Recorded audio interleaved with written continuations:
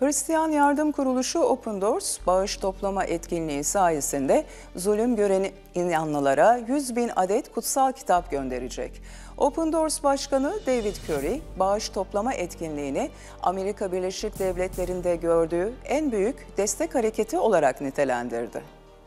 Dünya çapında baskı altındaki Hristiyanların durumunu izleyen Open Doors, Kasım ayı sonlarında Afganistan, Kuzey Kore ve Nijerya gibi ülkelerde zulüm gören Hristiyanlara 100 bin adet kutsal kitap göndermek için gerekli olan parayı toplayabildi. Kutsal yazıları ve öğrencilik materyallerini zulme uğrayan bir Hristiyana sunmanın kutsal kitap başına yaklaşık 7 dolara mal olduğu açıklandı.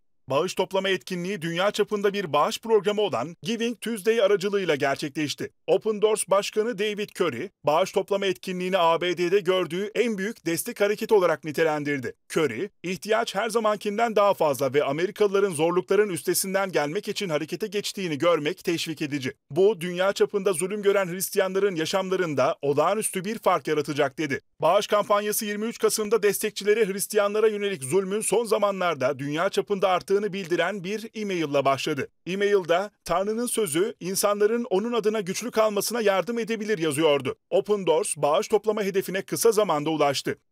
Open Doors kurucusu Andrew'un arabasına kutsal kitapları saklayıp onları Tanrı'nın sözünün yasaklandığı yerlere götürmesiyle 1955'te hizmete başladı. Curry, Hristiyan olmanın en zor olduğu yerlere kutsal kitabı ulaştırma çabaları devam ediyor. Günümüzde modern yöntemler aracılığıyla herkes kutsal yazıların Hristiyanlara ulaşmasını sağlayabilir. Kutsal yazılara erişimin sadece ruhsal bir gelişme değil, aynı zamanda zor koşullar altında teselli ve güç sağlayacağını da deneyimlerimizden biliyoruz dedi.